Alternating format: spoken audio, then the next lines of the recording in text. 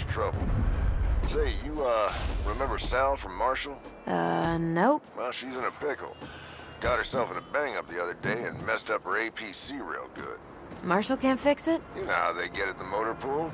She's already on the shit list. You're a stand-up guy, JR. That I am. They keep an APC over by the prison northwest of Lakeshore. The frontier, huh? I'll give it a shot.